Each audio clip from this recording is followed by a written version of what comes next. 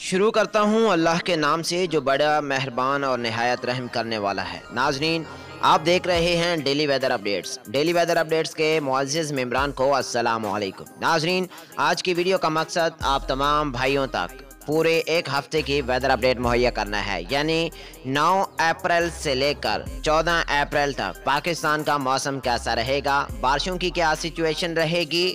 موسم خشک کب ہوگا؟ دھوپ کب نکلے گی؟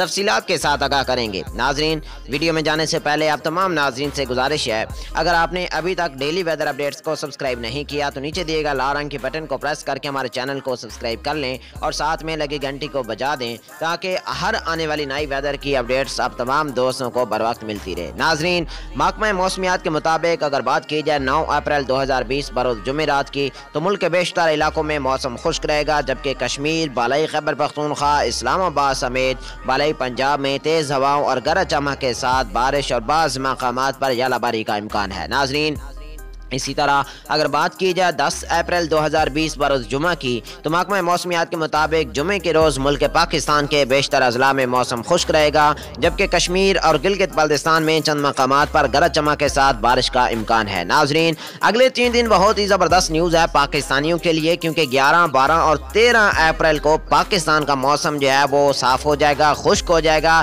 زیادہ تر ڈسٹرکٹ کے اندر موسم جو ہے وہ بالکل کلیئر ہو جائے گا، دھوپ اچھی نکلے گی، بارشوں کے کوئی خاص چانسز نہیں۔ نہیں رہیں گے موجود۔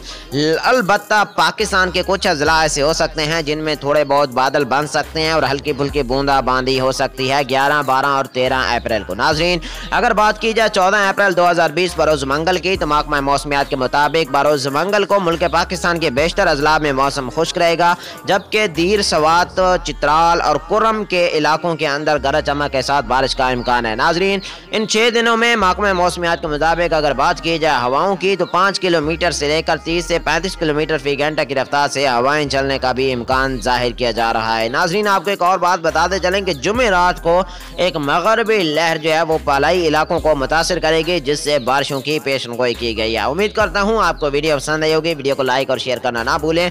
انشاءاللہ، اسی طرح کی لیٹسٹ ویدر اپڈیٹ آپ کو ہمارے چینل ڈیلی ویدر اپڈیٹس پر ملتی رہیں گی۔ ملیں گے ایک نئی ویڈیو کے ساتھ۔